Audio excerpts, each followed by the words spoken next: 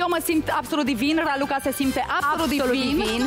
Miercuri, Eu sunt la Hollywood varianta apă rural.